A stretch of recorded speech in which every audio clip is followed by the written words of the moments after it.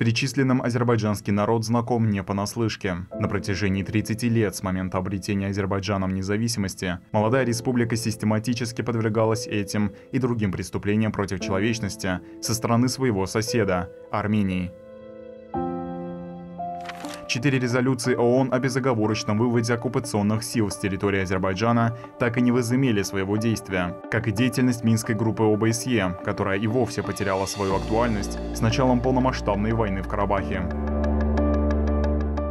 27 сентября 2020 года армянские вооруженные силы предприняли очередную провокацию, обстреляв из крупнокалиберного оружия, минометов и артиллерийских установок азербайджанские позиции, расположенные вдоль линии фронта и близ сел Тартерского, Агдамского, Физулинского и Джабраильского районов. Как и в результате предыдущих актов агрессии, совершенных Арменией, Новое обострение ситуации в регионе также привело к жертвам среди мирного населения.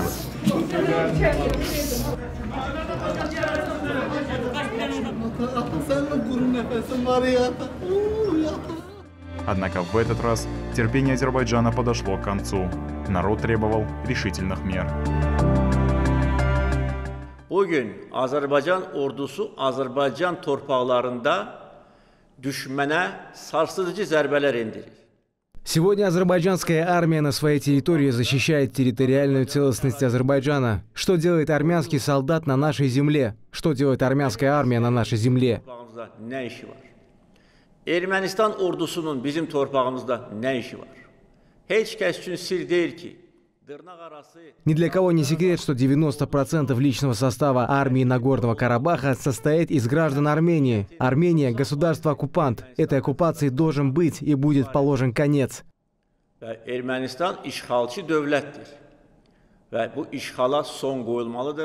Мы на справедливом пути. Наше дело правое. Мы победим. Карабах наш. Карабах – это Азербайджан.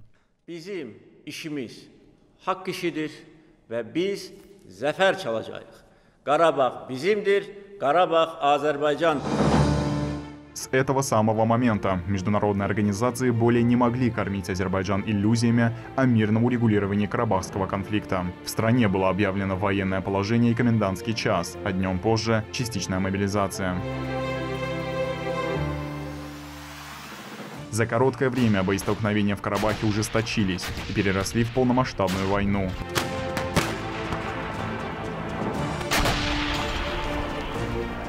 Уже ко второй половине первого дня войны азербайджанская армия освободила пять сел Физулинского и два села Джабраильского районов. Между тем, со стороны Армении под обстрел попадали города и другие населенные пункты, расположенные вне зоны боевых действий. Одним из таких был и город Тертер. С первого дня военных действий вплоть до их завершения город Тертер неоднократно становился мишенью армянских вооруженных сил. Так, 28 сентября 2020 года под обстрел тяжелой артиллерии попал автомобиль скорой помощи. В результате пострадали двое человек. 52-летнему водителю скорой оторвало ногу. В результате взрыва еще одного снаряда погиб прохожий. Тогда же были нанесены удары и по двум селам Тартарского района, вследствие чего серьезно пострадала инфраструктура населенных пунктов. Все это произошло лишь на второй день войны. Впереди предстояли тяжелые испытания и упорная борьба за восстановление территориальной целостности Азербайджана. В общей сложности за 44 дня жертвами армянской агрессии стали 17 жителей Тартарского района, в числе которых женщина и ребенок.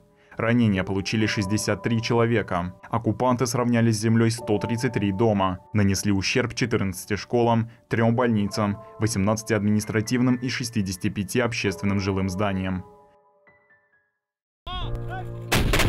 В свою очередь, азербайджанская армия продолжала давать отпор противнику на поле боя.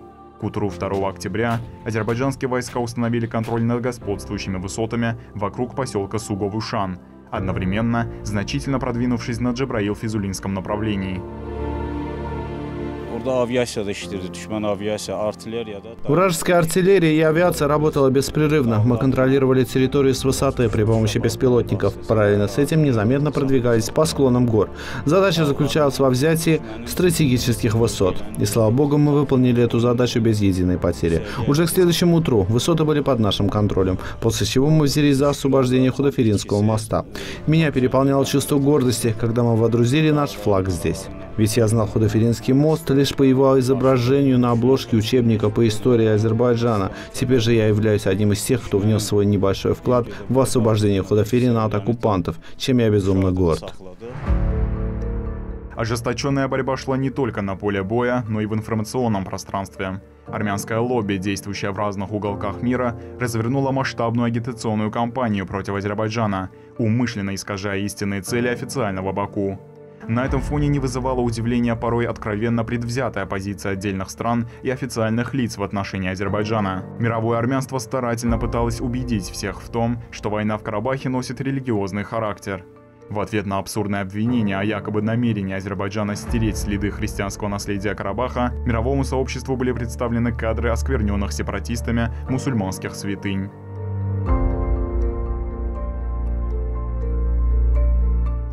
Мечеть 18 века в освобожденном от оккупации селе Мамар полностью разрушена. Наряду с вандализмом религиозно-культурный памятник после оккупации в знак оскорбления превращен армянами в свинарник.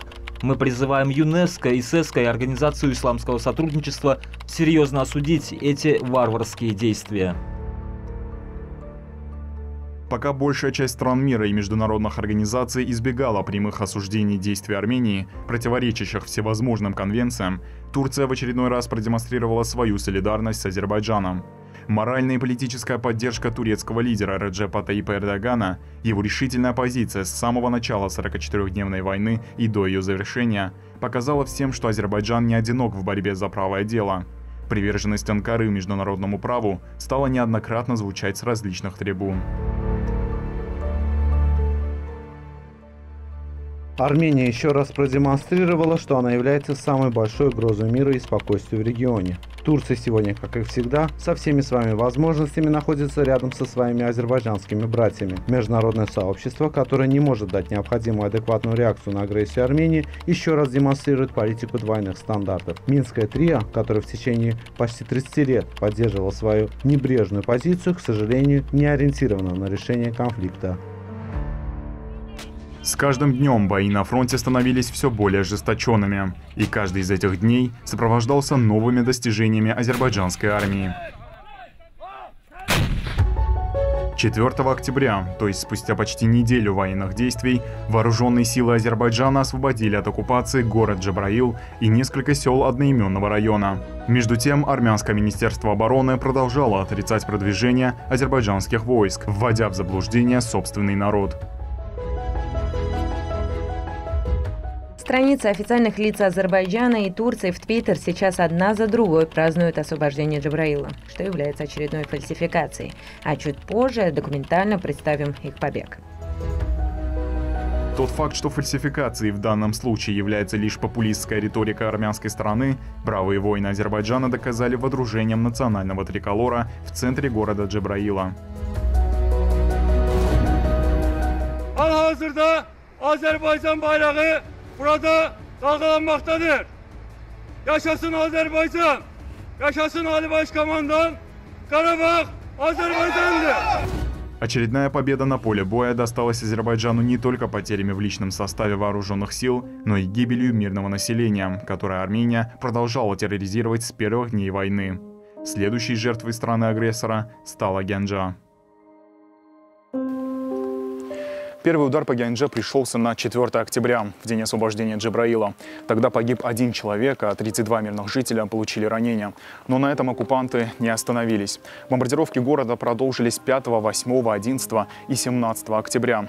В результате следующего удара по жилому кварталу погибло 10 человек, а здание, попавшее под обстрел, превратилось в руины. В общей сложности жертвами трагического события, вошедшего в историю как бомбардировки Гянджи, стали 27 человек, среди них женщины, и малолетние дети. Своими преступными действиями страна-оккупант намеревалась создать панику, расшатать ситуацию внутри Азербайджана. Но в конечном счете, напротив, лишь укрепила моральный дух азербайджанского народа. Похожая трагедия с таким же количеством смертей среди мирного населения настигла еще один город, расположенный вне зоны боевых действий – Барду.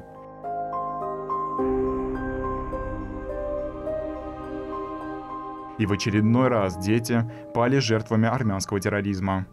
Бомбардировки Барды произошли спустя чуть больше 20 дней со дня первого удара по Гянджем – а до тех пор Армения принялась искать другие методы сдерживания азербайджанской армии. В частности, угроза подорвать Мингичевирскую гидроэлектростанцию с армянской стороны звучали неоднократно, еще задолго до обострения в сентябре 2020 года. Полномасштабная война стала подходящим поводом воплотить свои коварные планы.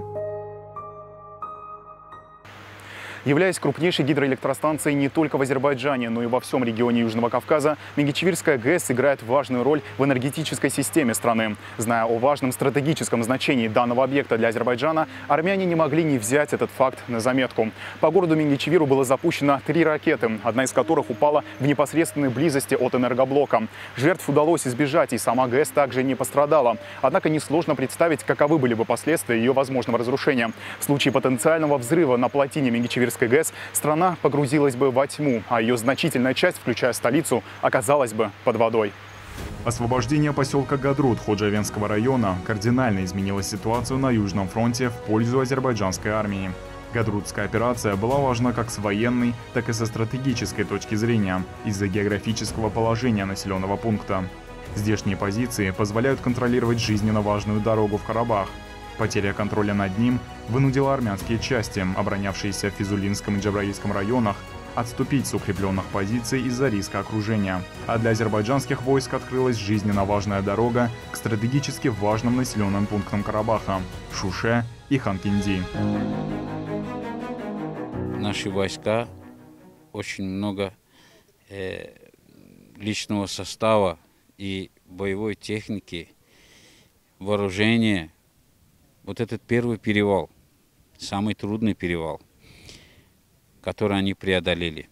Здесь у них были подготовленные позиции вот на этих, на склонах вот этой высоты и на этой высоте. Были размещены крупнокалиберные пулеметы и противотанковые средства.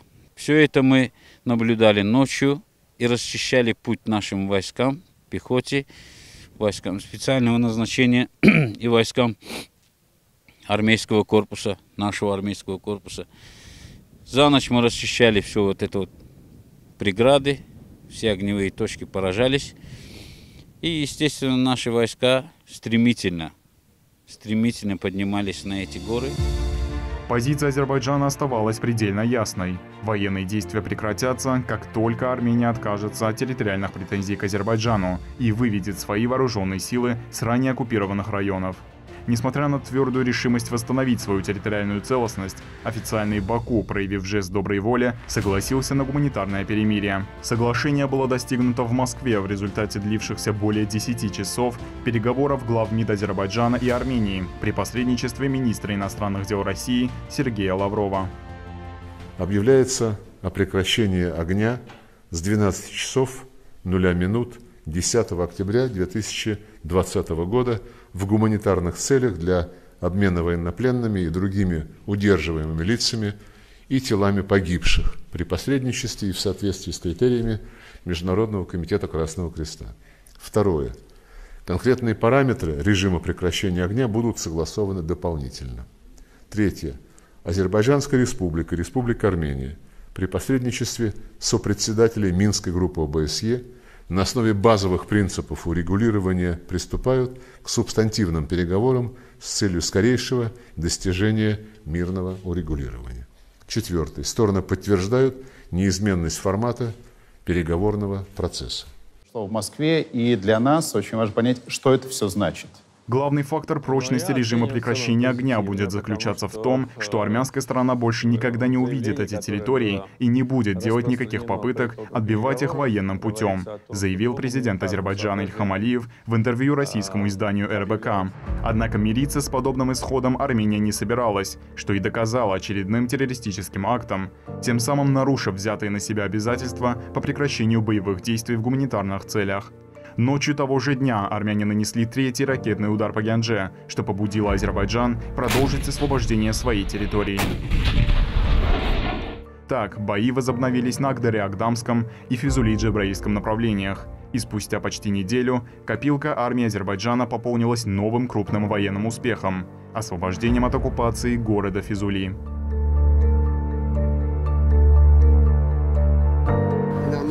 Враг строил укрепления на этих землях почти 30 лет. Он и подумать не мог, что азербайджанская армия сможет продвинуться до такой степени. Наше преимущество в первую очередь заключалось в высоком боевом духе. Ведь наше дело правое. Мы не захватывали чужого, а боролись за освобождение своей родины. Мы думали только о том, чтобы идти вперед и ни шагу назад. Вторая по счету договоренность о прекращении огня также потерпела крах. В ответ на провокации оккупантов вооруженные силы Азербайджана отбросили войска врага от Зангелана, полностью восстановив границу с Ираном на юге. 20 октября президент Азербайджана Ильхам Алиев объявил об очередном крупном успехе азербайджанской армии. Şanlı Azərbaycan ordusu Zəngilan rayon ərazisinə də daxil edilib Славная азербайджанская армия вошла и на территорию Зангиланского района, обеспечила освобождение населенных пунктов. Сообщаю название освобожденных сел на территории Зангиланского района.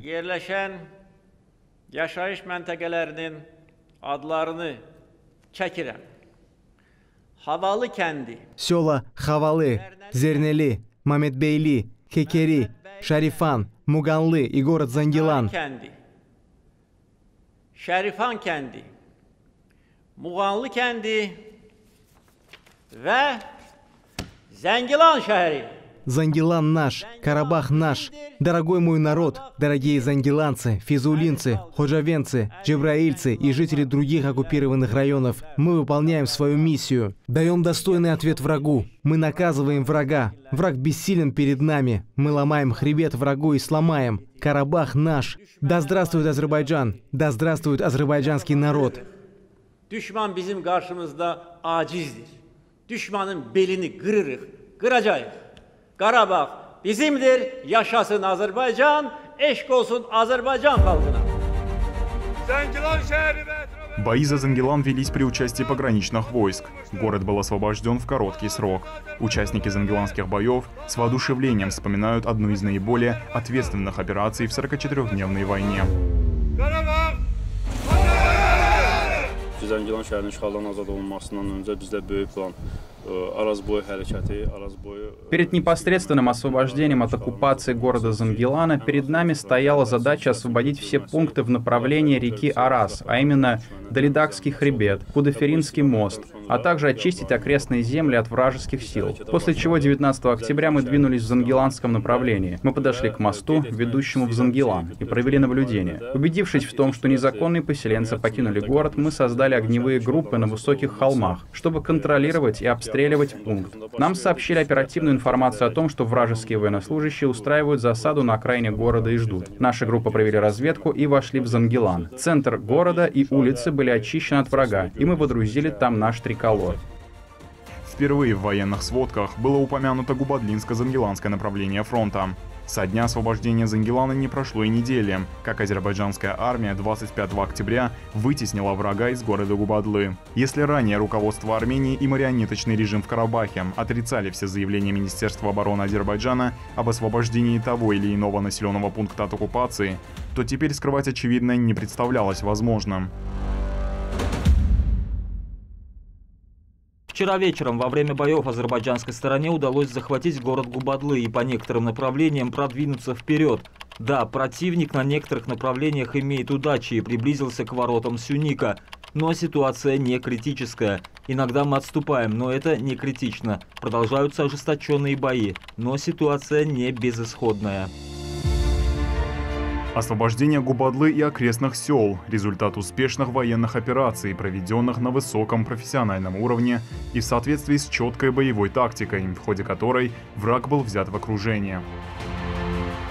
Нанесение сокрушительного удара по вражеским силам в Джебраиле, расположенном к востоку от Губадлы, и успешные операции в Зангелане на юге создали условия для выхода подразделений вооруженных сил Азербайджана к административным границам Губадлинского района. Наступательная операция началась рано утром, и азербайджанские части вступили в бой, приблизившись вплотную к противнику. Hücuma мы должны были взять под контроль дорогу Губадлачин и занять высоту. Эта задача также была успешно выполнена, значительные силы противника были нейтрализованы. В то же время, в результате наступления на Зангеландском направлении противник был полностью взят в окружение. Понеся потери, противник бросил оружие и технику и обратился в бегство. В результате этой успешной операции и высоты, и город Губадлы, и окрестные села перешли под контроль нашей армии. В то же время, как и было поручено, мы перекрыли дорогу Губадлы-Лачин взять на себя роль посредника между Азербайджаном и Арменией, тем самым продемонстрировав свою значимость в регионе Южного Кавказа, намеревались и США. Третья попытка гуманитарного перемирия была предпринята уже при содействии Вашингтона. 24 октября помощник госсекретаря США Стивен Бигун встретился с министрами иностранных дел Азербайджана и Армении Джейхуном Байрамовым и Зограбом Нцаканяном. В ходе встречи главы внешнеполитических ведомств двух стран подтвердили приверженность своих государств соблюдению соглашения о прекращении огня в гуманитарных целях, согласованного в Москве 10 октября. Гуманитарное перемирие начнет действовать с 8.00 местного времени 26 октября 2020 года. США оказали содействие активным переговорам между министрами иностранных дел и сопредседателями Минской группы для того, чтобы Армения и Азербайджан приблизились к мирному урегулированию конфликта вокруг Карабаха. Предсмертная агония. Под таким заголовком средства массовой информации публиковали статьи о действиях вооруженных сил Армении. Оккупанты же продолжали вброс фейковой информации. Но приближалось самое важное наступление азербайджанской армии. Главная цель – город Шуша. Бои за установление контроля над стратегически важным городом Шушой – один из ключевых эпизодов Второй Карабахской войны. 28 лет тоска по Шуше жила в сердце каждого азербайджанца. Освобождая ее, азербайджанские герои совершили немыслимый подвиг. Эта операция вошла в историю. Азербайджанские подразделения обошли контролируемые оккупационными войсками дороги и продвигались по горам, ущельям. На подступах к городу они пошли на штурм, приняв решение атаковать по отвесному склону горы, на которой находится Шуша. Перед ними стояла тяжелая задача – подняться вверх над пропастью, на краю которой стояли армянские силы. Азербайджанские воины доказали, что успех армии связан не только с использованием современной техники.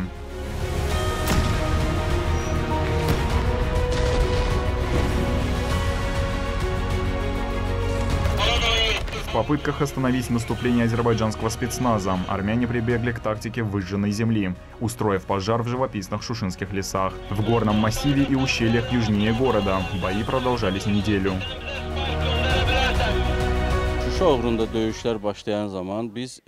Мы начали двигаться к Шуше через высоту, что расположена над селом Чанахчи. 6 числа мы вошли в Шушу целях обеспечения связи наших сил, воюющих там. 8 ноября Верховный главнокомандующий президент Ильхам Алиев объявил об освобождении города Шуша. Наша армия всегда была в центре внимания государства, и она была обеспечена всеми видами снабжения. Даже в самый разгар боя, и несмотря на сложный рельеф, наши подразделения были обеспечены всеми средствами связи. А это и радиосвязь, телефонная связь, видеосвязь и связь для передачи данных.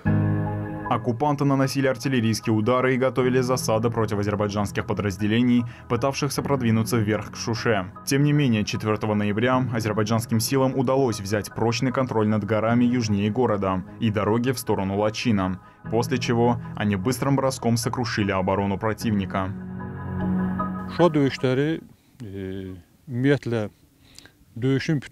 В целом, каждая из военных операций, проведенных в течение 44 дней, была непростой. Операцию по освобождению города Шуша в особенности затруднял рельеф этой местности. Враг был полон решимости оборонять Шушу. Но у каждого бойца азербайджанской армии было значительное преимущество – боевой дух. Мы боролись за свое, за земли наших предков. Ночью 6 ноября под покровом тумана бойцы азербайджанского спецназа взобрались на отвесные скалы и незаметно проникли в город. Оказавшись в городе, они заняли оборону и установили дополнительные блокирующие позиции и места для засад вокруг города, чтобы в дальнейшем предотвратить подвоз подкрепления для оборонявшихся армян. Битва за Шушу в конечном итоге свелась к ближнему бою от здания к зданию. К полудню 7 ноября большая часть города была под контролем Азербайджана, а на утро 8 ноября президент Азербайджана Ильхам Алиев выступил с обращением, которого азербайджанский народ ждал десятилетиями. 28 il yarım işğal altında olan Şuşa azad edildi. Şuşa indi azaddır. Biz qayıtmış. Biz bu tarixi qələbəni döyüş meydanında qazandıq. 8 noyabr 2020-ci il Azərbaycan tarixində əbədi qalacaq. Bu tarix əbədi yaşayacaq. Очередная договоренность о прекращении огня была достигнута при посредничестве Москвы. Но в отличие от других попыток прекратить боевые действия, трехстороннее соглашение подразумевало фактическую капитуляцию Армении. Страна-оккупант обязалась вывести войска, в том числе из тех районов, где активные боевые действия не велись – Кельбаджарского, Агдамского и Лачинского. Благодарю вас. Спасибо большое, Владимир Владимирович. 30 лет переговоров с армянским руководством убедили Азербайджан в одном. Надежда на безусловное соблюдение взятых на себя обязательств со стороны Еревана обречена на провал. Так, пункт трехстороннего заявления о полном выводе незаконных вооруженных сил с территории Азербайджана был проигнорирован. Сепаратисты продолжали играть в независимость вплоть до сентября 2023 года, когда Баку вынудил остатки незаконных формирований в Карабахе сложить оружие и покинуть суверенную территорию Азербайджана. Azərbaycan dərhal lazımı addımlar ataraq Азербайджан, немедленно предприняв необходимые шаги, заслуженно наказал врага. Были начаты антитеррористические мероприятия локального характера, и всего за один день все стоящие задачи были выполнены.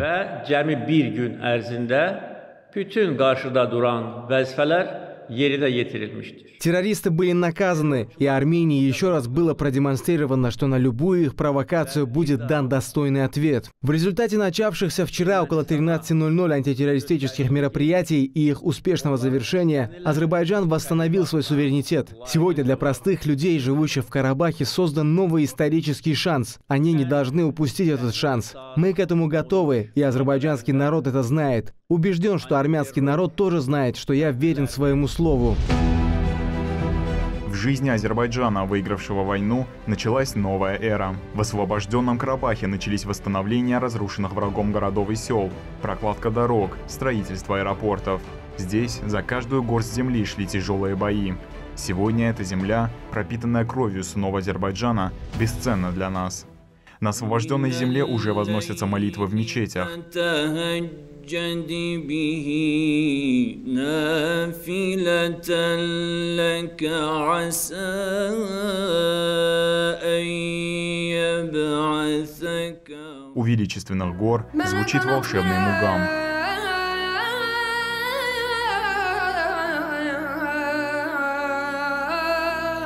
Стихи азербайджанских поэтов воспевают героев прошлого и настоящего.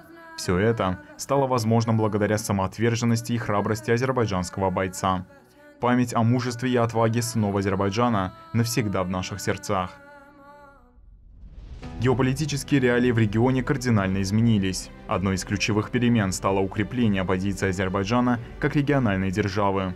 Победа над агрессором позволила стране не только вернуть контроль над своими территориями, но также повысить свою международную значимость. Восстановление территориальной целостности открыло перед Азербайджаном новые возможности для развития экономики. Малая гидроэлектростанция Кельбаджар-1 мощностью 4,4 мегаватт, построенная в Кельбаджарском районе, лишь небольшая часть масштабного проекта по превращению Карабахского региона в зеленую зону. Вместе с тем были начаты работы по восстановлению инфраструктуры освобожденных территорий. За три года Азербайджан добился значительного прогресса в этой области. Кафе, магазины, велодорожки, широкая площадь с фонтаном и монументом в виде голубей, олицетворяющих мир. Глядя на здешнюю инфраструктуру, сложно поверить, что еще совсем недавно здесь царила разруха, а земля была усеяна минами. Однако все это лишь начало еще больших достижений. Новые достижения не заставили себя долго ждать. Параллельно с восстановлением освобожденных территорий, туда постепенно стали возвращаться истинные хозяева этих земель. Что такое тоска по родному дому? Ответ на этот вопрос уроженцы Лачина знают как никто другой. Они испытывали это чувство на протяжении 30 лет. Но отныне несправедливости положен конец. Выходцы из освобожденного от оккупации города Лачина возвращаются на малую родину. Горечь потери в их глазах, наконец, сменилась радостью за земли своих предков. Чувство гордости объединило всех без исключения теперь уже бывших вынужденных переселенцев. Вот уже 30 лет, как мы тоскуем по нашей родной земле, а теперь возвращаемся туда, и нашей радости нет предела. Много лет мы прожили в Баку, и это наше родное место. Однако земля, где прошло мое детство, имеет особое значение для меня. Мы покинули Физули 23 августа 1993 года. Тогда мне было 13 лет, а моей будущей супруге было 10 лет. А сегодня мы уже возвращаемся в Физули с внуками. Моя мама уроженка села Агалы, я же здесь впервые. Сегодня я приехала сюда с мужем и детьми. Вся моя семья будет жить здесь. Это наша родная земля. В жизни каждого азербайджанца начался новый этап, где нет места тоске по родному дому. Освобождением своих земель от оккупации Азербайджан доказал не только приверженность международному праву, но и стремление к мирному сосуществованию. Сегодня перед азербайджанским народом стоит ответственная задача – передать подрастающему поколению наследие мира и гармонии для построения еще более справедливого и процветающего будущего. Каждый из 44 дней Второй Карабахской войны вписан золотыми буквами в историю Азербайджана. Это летопись героизма и мужества сынов Азербайджана, завоевавших победу, которую мы ждали почти 30 лет. 30 лет мы ковали эту победу и добились ее.